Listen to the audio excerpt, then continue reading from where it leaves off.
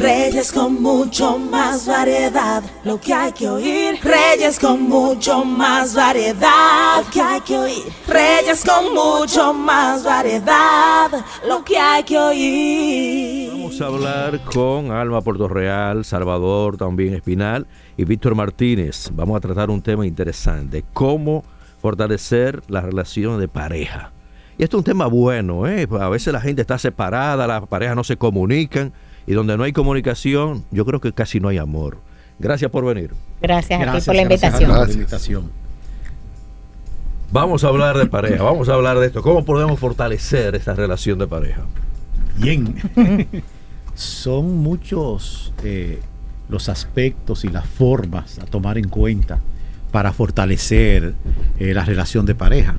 Y precisamente es lo que queremos nosotros en nuestra noche de reflexión que tendremos ahora el viernes 29 en Casa San Pablo, es tratar esos diversos aspectos eh, para que las parejas que estén presentes salgan de ahí bien fortalecidos en su amor, en su relación.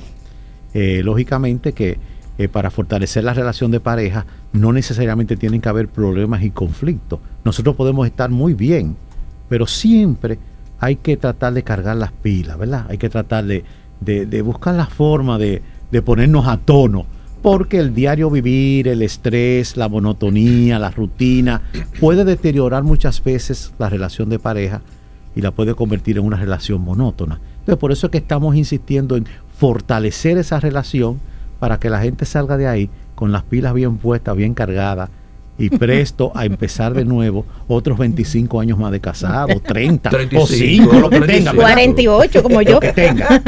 o sea que por ahí es por donde va eh, la idea de esta reflexión. Me dice que tiene 48 años de, relación. Sí, casada.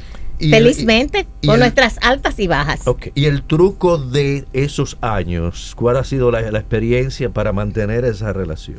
Bueno, primero que Dios dirige nuestras vidas y lo vemos nosotros los psicólogos, eh, la sanación entre las personas que tienen fe y las que no tienen, porque la fe es creer sin ver, pero es hermana gemela de la esperanza. Entonces el que tiene fe espera cosas buenas.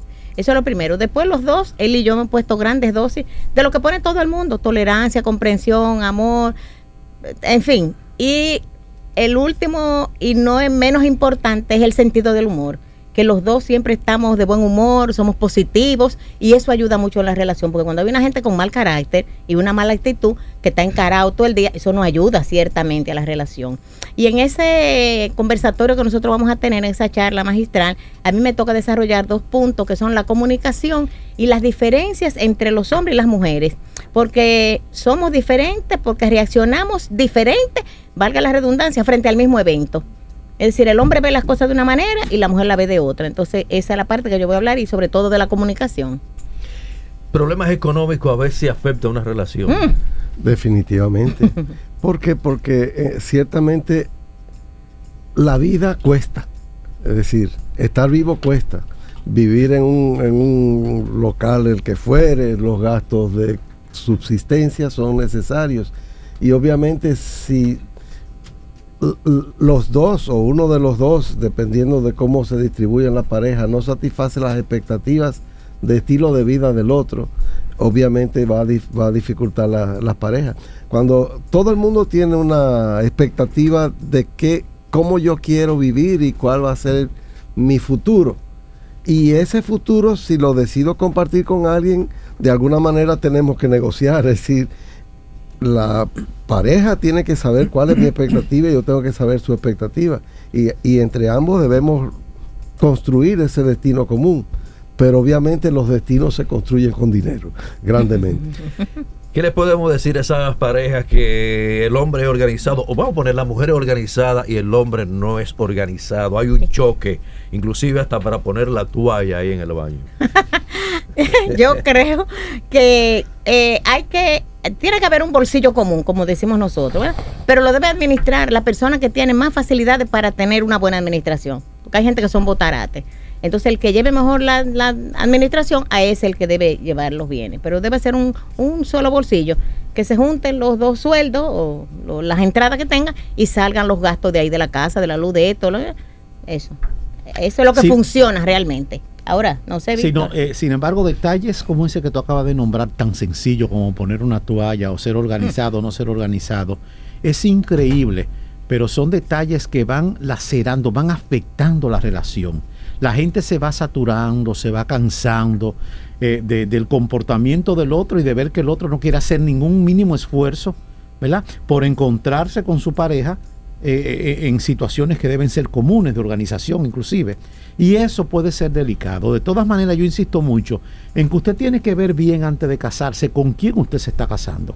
O sea, a quién usted se va a unir, porque tú sabías que esa persona era desorganizada y era así. Entonces no venga a ser una crisis matrimonial porque la persona es desorganizada. Tú sabías lo que iba y tú Perdón, lo elegiste Víctor, así. lo que pasa es que las personas creemos que vamos a cambiar el otro y ese es el gran error. Y es un error. Es un error. La gente, nadie cambia al otro, a menos que el otro decida cambiar. Porque eso se, trata de eso, de llegar a acuerdos. Vamos a tener metas en común, somos seres individuales, pero tenemos metas en común. Entonces vamos a tener planes nosotros juntos y vamos a ver qué tú puedes aportar y qué yo puedo aportar.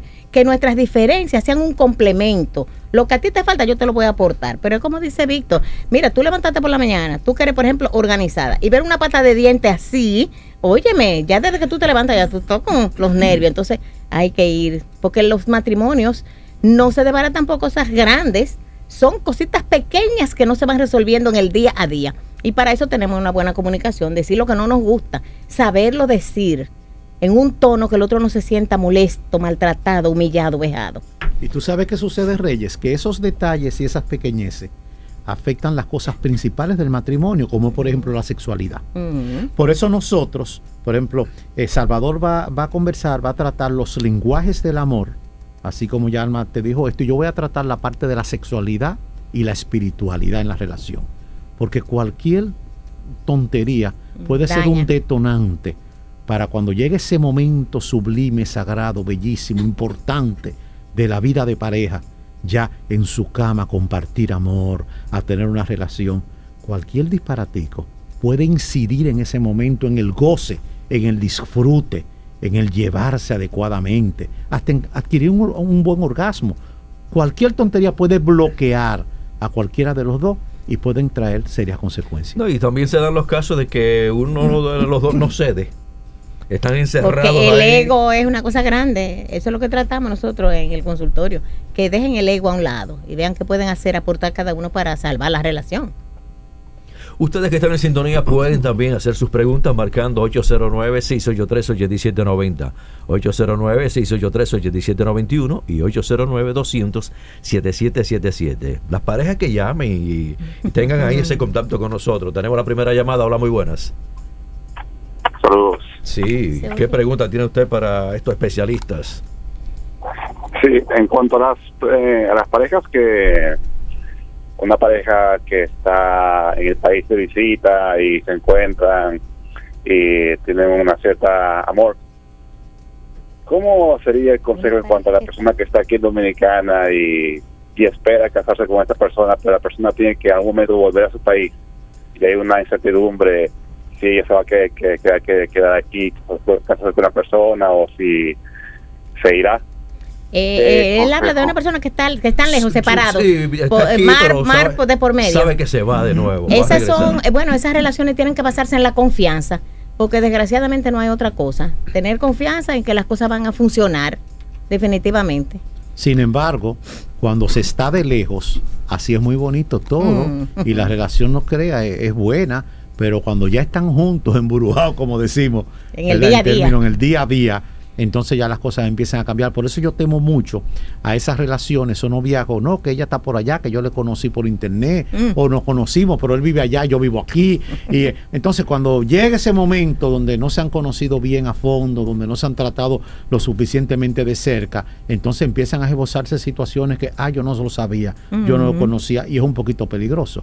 Pero como dice Alma, amigo, confianza. Su pareja está allá, usted está aquí, hasta que se junten. Bueno, confiar que su pareja, ni modo. Y es interesante ese conocimiento por las redes sociales. ¿Qué piensa usted, doctor? Eh, Las redes sociales permiten eh, la interacción de palabras escritas, palabras habladas, se y las personas la completan la percepción con su imaginación. Es decir, y entonces una cosa es lo que yo me imaginaba de ti y otra cosa es al verte ya en físico y como decía Víctor, en, en la interacción diaria. Eh, como decía Víctor, es más fácil mantener durante mucho tiempo una relación por redes o por cualquier tipo de comunicación que ya en, la realidad. Ahora, es muy común, es muy frecuente, cada vez más, y es dicho de alguna manera casi como una diversión. Tener relaciones de pareja por, por, por internet eh, en algunos momentos es simplemente una diversión. Un, un, estilo de relación que puede ser más o menos intenso, en el cual no hay un compromiso económico de compartir un hogar, no hay compromiso de, de que estamos juntos, de que vamos a salir a realizar actividades comunes, de que yo hago cosas que a ti no te gustan y tú haces cosas que a mí no me gustan. Mientras estamos lejos, tú haces lo tuyo y yo hago lo mío y no hay conflicto. Pero a la hora que ya estemos juntos, tenemos que compartir actividades y, y, la vida en general. Es más complicado. Yo tengo una campaña y entregamos unos volantes, y aquí mismo lo, lo, ponemos varias veces. Dale valor a la vida, que la muerte es una pesadilla. Aprende a amar, no a matar. A propósito de los feminicidios, de la violencia que hay, no solamente en República Dominicana, en el mundo. Eso también se puede tratar, lo podemos tratar con ustedes aquí. ¿Cómo bajamos esa violencia? Claro, bueno, mira, eh, lo primero es que la mujer ha adquirido mucha preponderancia en todos los ámbitos, sobre todo en el trabajo, y está a la par del hombre en el área laboral. Entonces el hombre como que todavía no acepta una sociedad machista eh, culturalmente, como que no acepta el que la mujer pueda hasta ganar más que él. Y ya eso genera también un poco de problema. Entonces, ¿qué le pedimos? Un poco de humildad también a las personas, a las mujeres sobre todo, que sepan manejar eso con el hombre, con su pareja, para que no tengan mucho problema. Pero yo creo que sea, eso es algo que la mujer está, lo que tú haces yo lo puedo hacer. Entonces eso es un lío. Pero me gustaría, antes de que ellos, mis compañeros, contesten lo otro, cuando hablamos de que las personas que se conocen por internet, cuando yo estoy de psicología decían, cásate con tu vecino. Cuando tú conoces al vecino, tú sabes todo. Hasta las enfermedades de la familia, cómo son las costumbres. Pero cuando tú te casas con una persona desconocida que nada me hablando, porque tú puedes tener 20 años de amores y tú no conoces a esa persona bien hasta que no convive con ella. Ahí es que tú descubres si roncan, disparate, pero que te molestan. Oh, oh. y que traen, y que traen situaciones, situación, en la relación. Gente que no se quiere bañar porque nosotros lo vemos en la consulta. No, eh, hasta falta de higiene. O sea, sí, hay, sí. Eh, tú dices, bueno, pero eso no, no son disparates, son pequeñas cosas, pero que nosotros tenemos que saber y conocer bien la otra persona. De todas maneras, ninguna de esas situaciones debe generar violencia. Ah, no. Yo estoy en contra de la violencia, ni física, psicológica, emocional. O sea, no debe ser no. ninguna mujer que son generalmente, ya también hay hombres que aguantan eh, su Sí, Sí, lo pero, que pasa es que por orgullo no lo dicen. no, No lo dicen, pero ninguna pareja, ninguna No, mujer debe bajo ninguna circunstancia permitir violencia en su relación. Claro. Si hay algo por lo cual yo recomiendo dejar una relación, es cuando yo veo que hay abuso, Abuso de alguna que, de las que hay manipulaciones, ¿verdad? Chantaje emocional, todas esas situaciones. No debe Claro. ser. Sí, fíjate, eh, durante toda la historia de la humanidad, hasta hace solo 200 años, los hombres éramos los proveedores de todo lo que se necesitaba en el hogar. Y como proveedor absoluto, lamentablemente decía el compañero Marx que el poder económico da poder político. Es decir, como proveedor absoluto tenía la tenía eh, la propiedad de la mujer, cosa que incluso en términos biológicos animales lo- los machos defienden a la hembra y esta hembra es mía. Cualquier mamífero lo, ah, tiene ese comportamiento. Entonces, aparte de la razón biológica, de esa base biológica, y en segundo lugar de la razón histórica, los hombres creemos, creíamos, o de, sí, hemos creído, el verbo correcto, Sí. de que las mujeres deben someterse a lo que nosotros consideramos correcto, decidir qué ropa se ponen, con quién hablan, a dónde van. Pero en la medida de que hace 200 años en adelante la mujer ha ido produciendo, y como decía Alma, incluso más eh, incluso más que el hombre, los hombres no hemos soportado esa igualdad y a veces esa superioridad. Y todavía creemos que son nuestras. Entonces probablemente eso se ha, tra- se ha venido pasando generación en generación, pero lleg- debe llegar un momento, eh, en términos dominicanos, que hay que decirle a los niños que las mujeres no son de nadie. Claro, decir, claro. decir, No, mira, pero fíjate. ella ¿Es permitido decir eso? Ella- es- claro que sí. Sí, sí, sí. Ella, ella está contigo porque te quiere, pero ella no es tuya. no, ella no es tú no tuya. la compraste ni eres su papá. Y, no, nada. y si te deja, a lo mejor problema de ella. Si te dejó, bueno, que se lo goce, que yo haré mi vida por mi cuenta. Pero en la medida que yo creo que ella es mía, aunque nos separemos y hasta que nos divorciemos, cuando yo la veo con otro me pongo loco y quiero de, de- Bueno, de ahí vienen los feminicidios. Claro, de ahí es que viene, ni aceptan que sean amigos, Es, ni es el nada. feminicidio de que la mujer es mía. Y desde niño hay que decirle a las mujeres no son de nadie. Nadie es de nadie. Déjese tranquilo No, ahí, estamos de acuerdo. Claro. Y un hombre inteligente pudiera decir, mi amor, yo soy tuyo, haz de mí lo que tú quieras. Haz de mí lo que tú quieras. Sí, ya eso o es diferente. que realmente tú. Claro. Pero eso hay que combatirlo, estamos de acuerdo.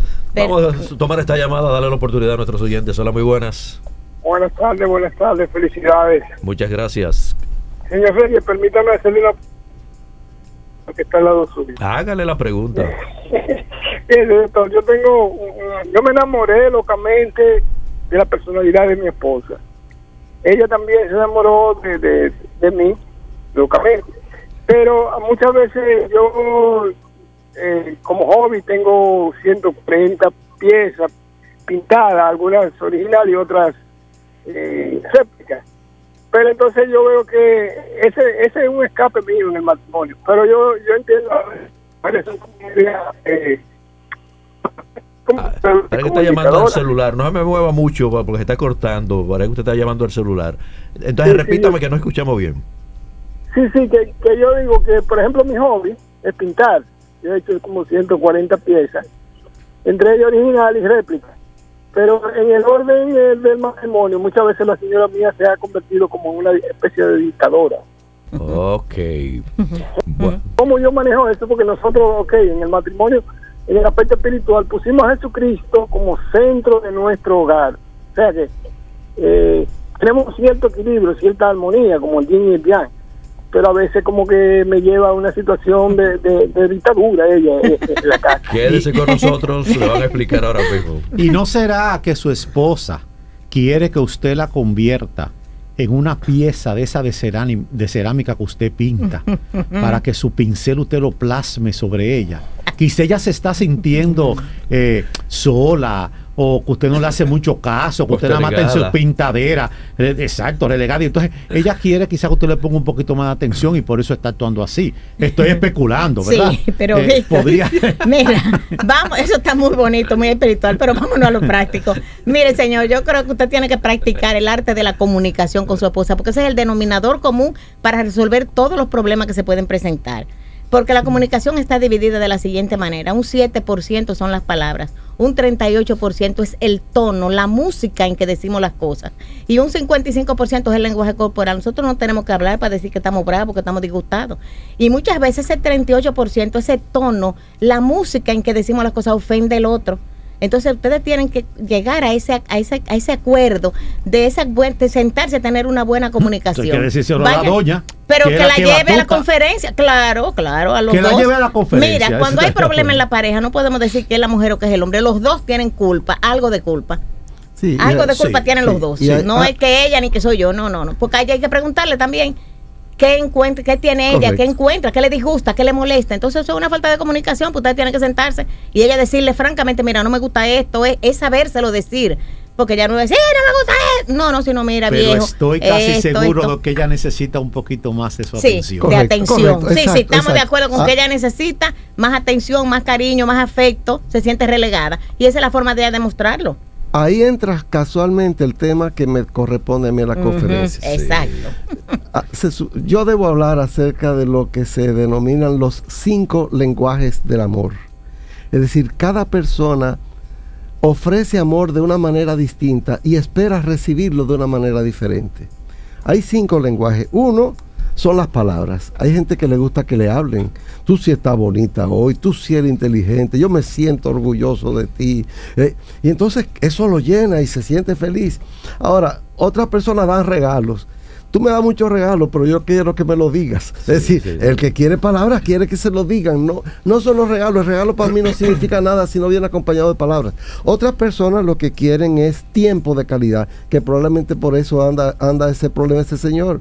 Es decir, pero mi amor, yo te digo que te quiero, yo te traigo regalos, yo hago cosas para ti. Sí, pero yo lo que quiero es que me escuches. Y tú con esa bendita pintura desde que mañana, desde que te levantas con el pincel y no me hablas. Yo quiero estar contigo. Deja eso un rato y vamos a conversar. Y hace una semana que ni un besito. Siéntate, Ay, sí. siéntate conmigo, Píntame exacto. con el pincel. Exacto. Entonces, si me das palabras o me das regalo y no me das tiempo, yo funciono con tiempo.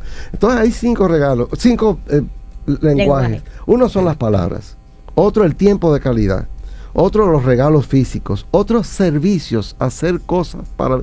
Es que Para tú pintas y, me dice que va a arreglar la plancha y tiene la plancha un mes sin arreglar. Yo lo que quiero es que tú me ayudes a resolver los problemas de la vida práctica, haciendo cosas. Y el último, uno, unos lenguajes que casualmente en la conferencia el último, es el toque físico. El toque físico, el contacto físico. Hay personas que expresan amor con contacto físico, pero yo lo que quiero son cualquiera de los otros cuatro. Esa es la esencia de la comunicación, el ver cuál es la manera como ella se siente agradada o como yo me siento agradado. Bueno, entonces vamos a dar todos ya los detalles desde la conferencia. Yo quiero asistir. No te Lo esperamos. esperamos. Es un compromiso. Tú vas, eso es obligado. invitado de honor, te vamos a tener en primera fila. ahí, A Yo ti y a voy. tu pareja. ¿Qué otros temas van a enfocar en la conferencia? Bueno, De todo un poco. de todo un poco, pero a mí me corresponde la sexualidad en la pareja.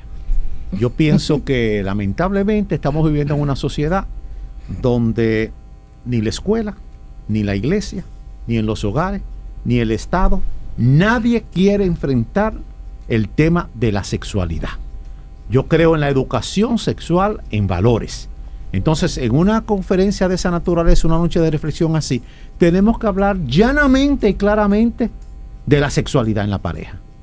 A mí me tocará todos. tratar ahí las posiciones sexuales, eh, cómo podemos lograr mejores gozos, lo importante de la espiritualidad en ese momento.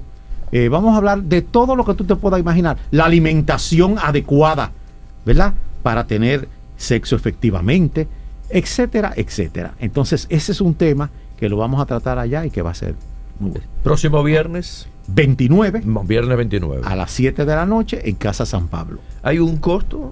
Sí, es mil pesos por persona.